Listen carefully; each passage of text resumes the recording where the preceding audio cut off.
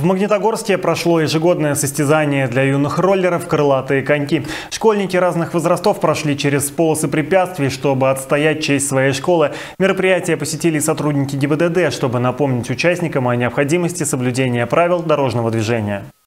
Участники готовятся к началу состязаний, и одна из их числа – Анна Снегова. На ролике девочка встала не так давно, но уже не дрейфит. Участница уверенно держится на коньках, потому и в победе своей команды уверена. Это первые мои соревнования, но я катаюсь на роликах два года. Я очень люблю кататься на роликах. Я настроена на победу, я думаю, мы победим.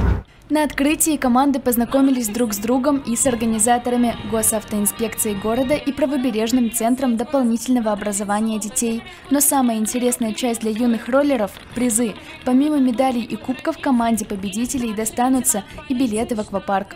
Мы не отбираем никаких ребят да, по каким-то критериям. То есть обычные школьники у нас заявляются. Самое главное, чтобы у них был допуск, конечно же, от врача на такие соревнования. Ну и плюс, конечно же, экипировка. Городские соревнования для юных роллеров «Крылатые коньки» проходят ежегодно вот уже более 10 лет. Ранее участвовали только подростки, но с этого года команды пополнились и ребятами помладше. Всего участие приняли 12 команд по 4 человека. Это школьники с 5 по 9 класс. Аня и Лиза на роликах стоят с самого детства. Наша школа первая, ну и мы должны быть первыми. Я тоже так считаю. Но мы не можем подвести свою школу. Это не позволяется нам.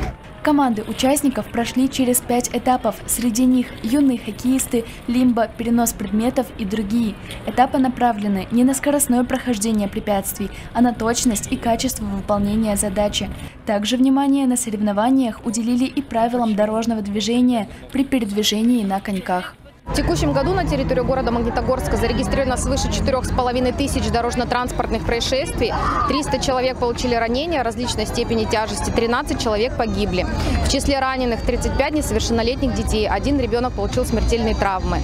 Статистика по ДТП с участием детей неутешительная, потому сотрудники ГИБДД регулярно проводят профилактические мероприятия, чтобы напомнить юным пешеходам о правилах дорожного движения. Арина Кучакова, Алексей Ветчинкин, телекомпания ТВИН.